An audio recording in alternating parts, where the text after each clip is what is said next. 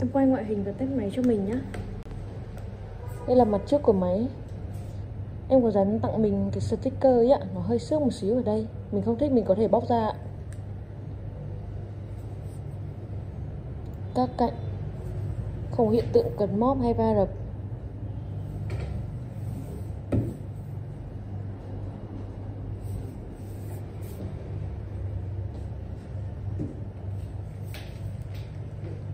Tắt các chức năng của máy nhé.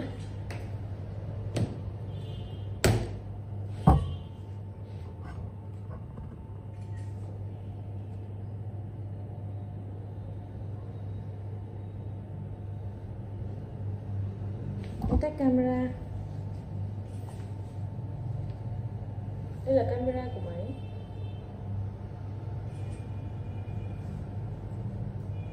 Em tắt mic.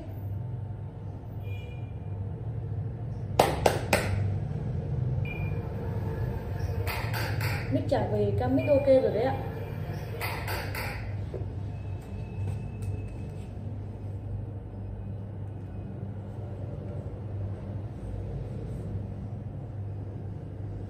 Anh tắt bàn phím.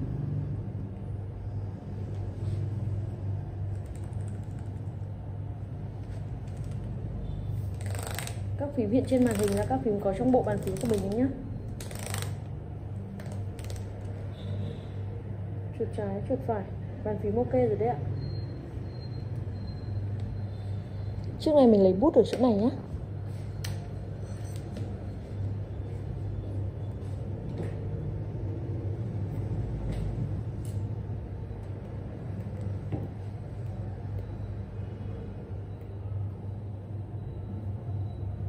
em tắt loa. Loa chiếc này khá là to và trong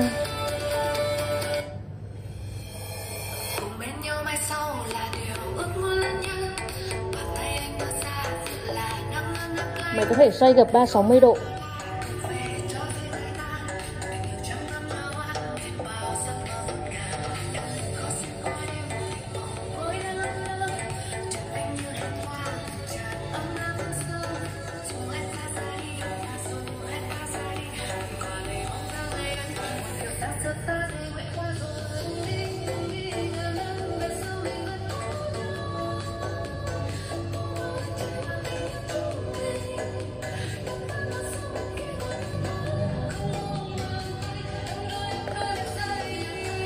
Em test trong phần mềm vẽ nhé.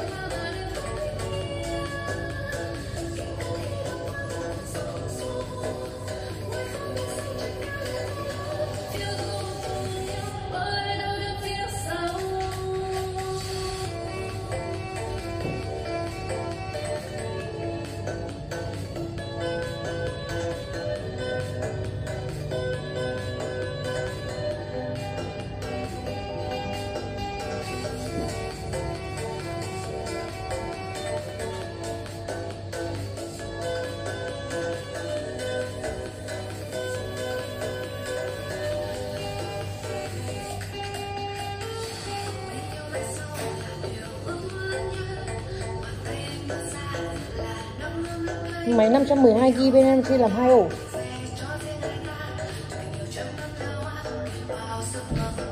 Đây là cấu hình của máy.